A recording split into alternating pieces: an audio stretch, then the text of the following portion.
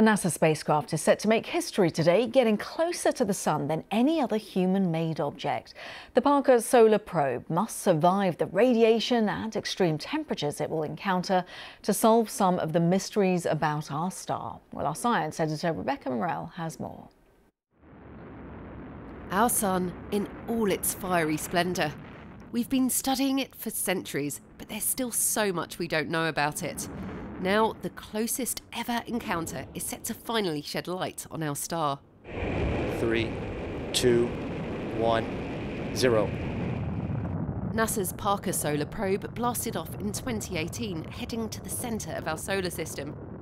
It's been orbiting our star, getting ever nearer, but this latest flyby is taking us to a new frontier to touch the Sun.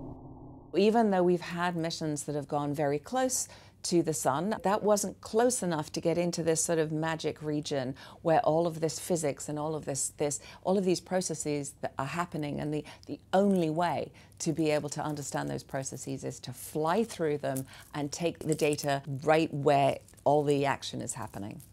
This mission is breaking records. Parker Solar Probe hurtles past the sun at 430,000 miles an hour.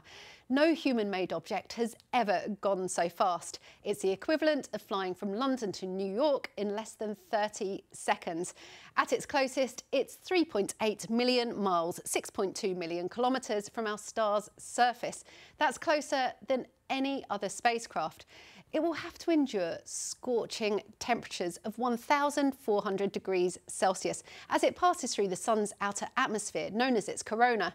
And this could solve a long-standing mystery the corona is really, really hot and we have no idea why. So the surface of the sun is about 6,000 degrees or so, but the corona, this tenuous outer atmosphere that you can see during solar eclipses, that reaches millions of degrees and that is further away from the sun. So how is that atmosphere getting hotter?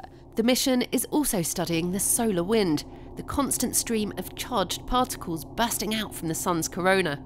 The probes even recorded the sounds of the sun, three different types of solar wind dispersive chirping waves, Langmuir waves, and Doctor Who like Whistler mode waves. When these particles interact with the Earth's magnetic field, the sky lights up with dazzling auroras. But this space weather can cause problems too, knocking out power grids, electronics, and communication systems. The hope is the mission can help us to better understand this. But first, the spacecraft has to survive its burning hot flyby. I will worry, but we really have designed that spacecraft to withstand uh, all, all of these uh, brutal, brutal conditions. It's a tough, tough little spacecraft. During this close approach, the spacecraft is out of communication for several days. So the NASA team face a nervous wait over Christmas before they can finally discover the secrets of our star. Rebecca Morelle, BBC News.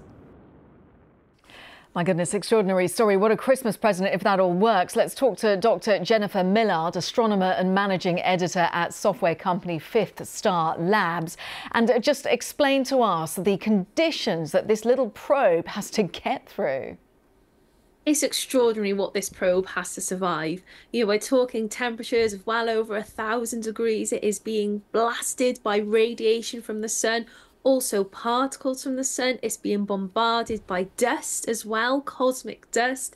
It's really the most extreme environment we have ever sent a spacecraft to, but it is well prepared. It's got its shield, it's got its cooling system, so it should survive. And should it survive, fingers crossed it should survive, what kind of information do we hope it will bring back? This probe is going to tell us about the sun's magnetic field in very close proximity to the sun, part which we've never been able to explore before. And the sun's magnetic field is so important for us to understand. All of the planets of the solar system sit within the sun's magnetic field. It influences all of the planets, you know, life on Earth as well. It's going to sample the solar wind, so this constant stream of charged particles emanating from the surface of the sun. We don't understand how the magnetic field of the sun is created. We don't know where it comes from. And we don't understand how these charged particles start almost stationary on the surface of the sun. And then they're accelerated to a million miles per hour. And we need to understand this because they make up space weather. And space weather impacts our life on Earth, not just with the beautiful northern lights or the southern lights, the aurora, which we've enjoyed so much this year, but it also impacts our satellites. A really strong solar storm, when we have a big explosion of material on the surface of the sun that barrels towards Earth, well, that can even knock out some of our satellites. It can pose a danger to astronauts in space as well. And we rely on, you know, satellites for not just studying space, but it's looking at our planet, it's monitoring weather, natural disasters, communication, navigation with the GPS network.